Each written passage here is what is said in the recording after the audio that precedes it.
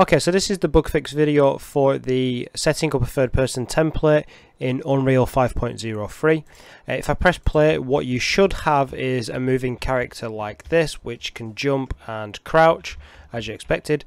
Um, but if um, if you're following the tutorial, it won't work straight off um, straight off the bat, um, and it's because of this. You'll need to go to your project settings, and you need to go to the input tab, uh, and under input you'll have action mapping, and you'll also have axis mapping. Um, so you should see sort of like move forward, backwards, turn right and left, uh, move right and left, look up and down, and look up and down mouse, gamepad, and whatever.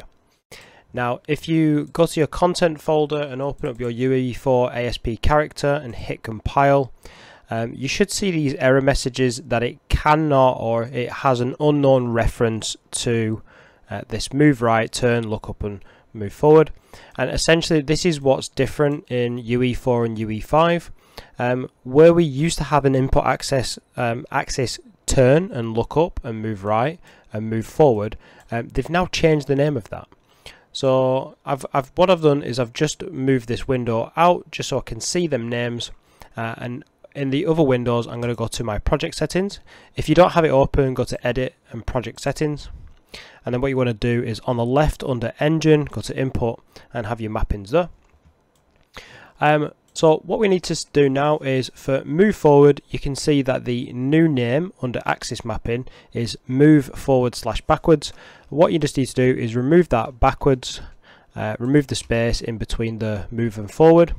And then when you hit compile, you'll see that that one disappears. So now the move forward exists because um, because we've changed it. So the move right, I'm going to move remove the space, remove the forward slash and left, I'm going to do the same for right, uh, turn right left mouse. I'm just going to delete all that up to the, just the word turn. And then for look up and down mouse, I'm just going to delete the down, leave look up and remove the space. Hit compile and now all them errors have disappeared. The only one that I've got now is an input action event and the action is crouch. So under the action mappings you can see we've got jump and primary action. I'm going to go plus I'm going to add a new action, crouch. What's what have I done? I'm going to new action called crouch. Make sure you capitalize the letter C. Uh, that is important. It is case sensitive. And then for the keyboard uh, value, I'm going to go keyboard, and I'm personally going to set mine to left control. Hit compile in your UE4 character window, and then now go back to your map and press play. And if I just get rid of this, you will see that now I have full uh, ability to move, jump and crouch. One additional thing, if you find that your character is not moving quick enough, uh, you can go to your character movement component and on the left hand side, if you scroll down, um, your max walk speed here um, is is 270. You could change this to maybe 400 hit compile, hit play, and then now your character should move uh, a lot quicker, which might be a bit nicer for you to work with.